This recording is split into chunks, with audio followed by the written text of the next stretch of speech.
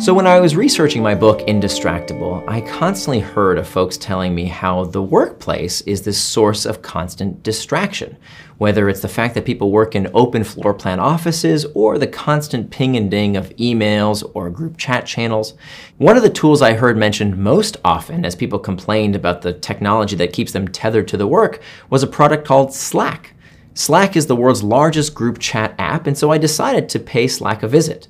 And what I discovered when I went to visit Slack headquarters is that Slack somehow doesn't suffer from this problem of distraction. I mean, you would think if technology was the source of the problem, if Slack was causing people to get distracted, the people at Slack who use the product more than anyone on earth should be more distracted than anyone. But that's not what I found.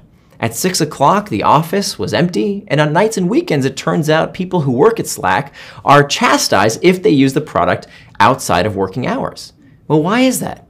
It's because technology is not the root cause of distraction at work. That what I discovered in my five years of research is that distraction at work is a symptom of cultural dysfunction.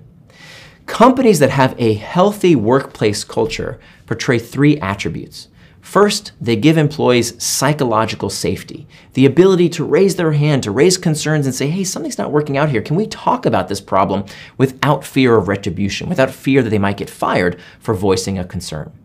The second attribute of these companies with a healthy workplace culture is that they give employees a forum to talk about their concerns. So at Slack, they actually use their own technology to give employees this forum. They have these Slack channels, one of them is called Beef Tweets, where any employee can post a complaint, concern, or a comment about the company, and company management will acknowledge they have seen those concerns with, get this, an emoji. An eye emoji or a checkmark emoji lets employees know that their concerns are acknowledged and being handled.